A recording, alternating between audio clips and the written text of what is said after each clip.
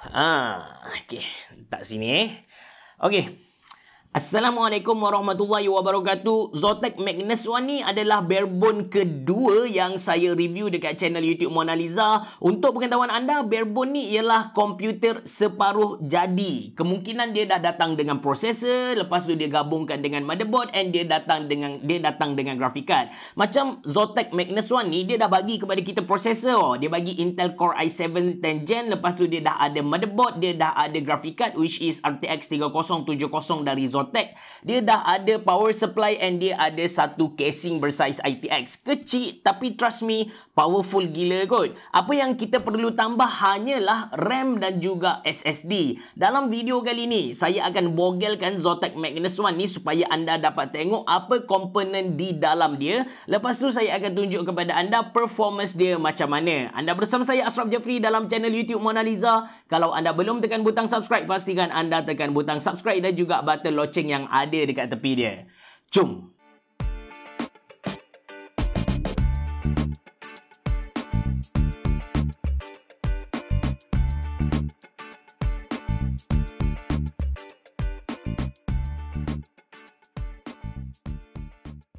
Alright guys, ini dia Zotac Magnus One model RTX 3070.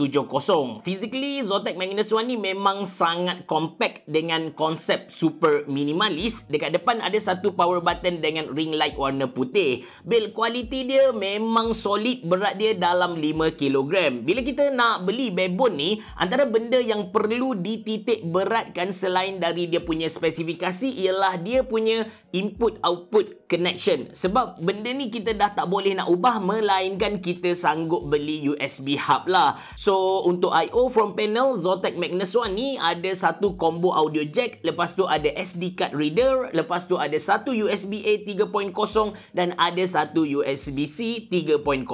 Manakala untuk I.O. port belakang pula ada dua built-in Wi-Fi 6 AX1650 antena, dual gigabit LAN, 4 USB A 3.1, ada dua USB A 3.0, ada satu HDMI port untuk motherboard, kemudian ada satu HDMI port GPU 2.1 dan 3 DP. Bagi saya I/O port dia hampir lengkap, yang kurang adalah dia tak ada USB-C yang support Thunderbolt. Itu sahaja. Based on I.O. port yang saya tunjuk tadi, apa yang kita boleh faham ialah katakan graphic card untuk Zotac Magnus One ni rosak, kita still boleh guna PC ni dengan cara cucuk HDMI cable direct ke motherboard yang dikuasakan dengan Intel Core i7 10700. Perkara kedua yang kita kena tengok bila kita nak beli mana-mana barebone ni ialah dari segi modularity. Senang ke tak untuk kita akses ke dalam komponen-komponen yang ada di dalam casing dia. Macam Zotac Magnus Magnus One ni senang gila untuk kita buka dia. First kali kita tolak dia punya top panel. Lepas tu kita terus boleh tarik dia punya side panel kiri kanan macam ni je. Belah kiri kita boleh nampak ada satu graphic card Zotac RTX 3070 vertically. Dan belah kanan ada processor, ada motherboard, ada slot RAM, ada slot hard disk 2.5 inci dan ada dua slot M.2 SSD. Power supply ada dekat bawah. Untuk RAM dia tak pakai RAM PC tapi dia pakai RAM RAM laptop and capacity maksimum yang kita boleh masukkan ke dalam Zotac Magnus One ni ialah 64GB. Spesifikasi penuh Zotac Magnus One yang saya review ni dia guna prosesor Intel Core i7 10700 kemudian RAM saya masukkan 16GB DDR4 storage saya guna XPG Gummix S70 Blade lepas tu graphic card dia guna Zotac GeForce RTX 3070 8GB GDDR6 dan power supply 500W 80 plus Plus Platinum. Ini graf gaming yang saya dapat untuk highest ataupun ultra setting 2K resolution. Semua game dapat main dengan cemerlang, dapat main dengan smooth, tak ada masalah kecuali game-game RTX on macam Control RTX dan juga Cyberpunk RTX. But overall, this is one of the best machine yang kita boleh guna kalau anda nak main game 2K resolution best setting. Macam biasa, klip gameplay ada pada akhir video nanti untuk anda pantau sendiri. Okay Guys, bila main dengan barebone ni, satu benda yang sangat-sangat-sangat penting untuk kita perhatikan ialah dia punya thermal performance. Anda boleh anggap yang barebone ni lebih kurang laptop yang mana kita tak berkuasa untuk ubah apa-apa. Especially dia punya CPU cooler tu lah. Kalau kita tukar CPU cooler yang dia bagi kepada mana-mana CPU cooler aftermarket yang kita boleh beli, automatic void warranty. Hmm.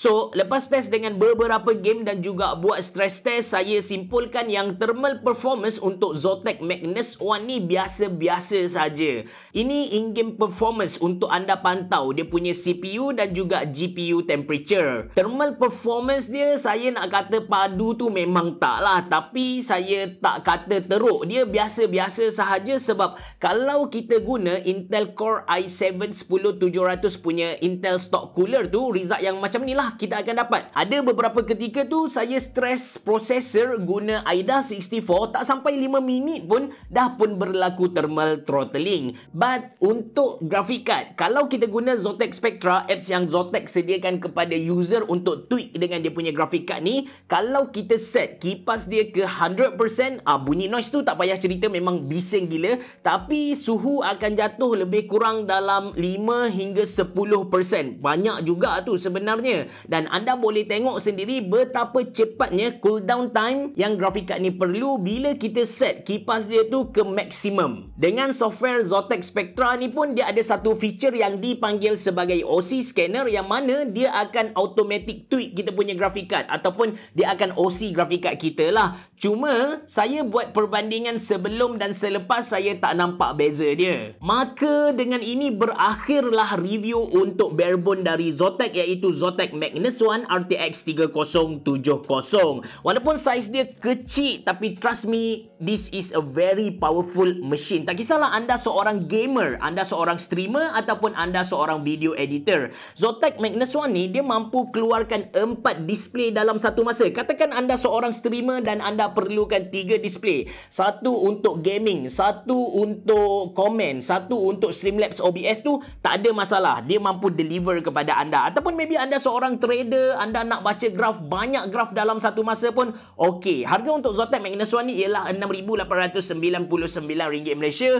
Murah ke mahal tu habis cerah? Saya dah buat perbandingan dengan current price waktu video ni di record dengan Intel Core i7-10700 lepas tu motherboard saya cari Intel chipset size ITX dengan built-in Wi-Fi AC lepas uh, sorry Wi-Fi AX lepas tu grafik RTX 3070 Twin Edge Zotac power supply saya cari yang setara dengan dia dan casing saya cari size ITX dengan ada USB-C dekat depan, harga dia lebih kurang sama sajalah. Cuma kalau anda beli Magnus One ni, anda tak perlu nak pening kepala sangat dari segi warranty sebab dia setongkol macam ni. Kalau rosak terus hantar dekat Zotac. Warranty dia 2 tahun. Kalau anda pilih untuk buat custom PC, maybe anda lebih fleksibel. Dalam casing anda tu, kalau anda nak tambah bling-bling kedai Tom Yum, RGB bagai tu pun tak ada masalah. Ataupun kalau anda nak tukar dia punya CPU cooler kepada yang lagi bagus pun, tak ada masalah masalah jugalah. So dia ada kekurangan dan kelebihan masing-masing. Terpulang pada anda yang mana anda nak pilih. Cuma, cuma kalau anda berminat untuk beli Zotac Magnus One ni, pastikan anda beli sekali RAM laptop dan juga storage. SSD lah. Tak, jangan beli hard disk lah. Tapi kalau nak beli pun tak ada masalah.